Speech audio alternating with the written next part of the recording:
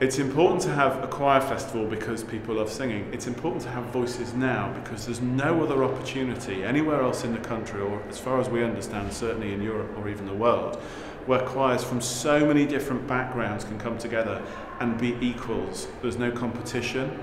There's no sense that you're waiting for the, the, the professional, the big choir to come in in the evening. Everybody here is equal, whether it's 12 people singing Bulgarian music, or whether it's 300 people from the Gert Lush Community Choir in Bristol, or whether it's the magnificent AK-47 from, from Wiltshire who are 60 men.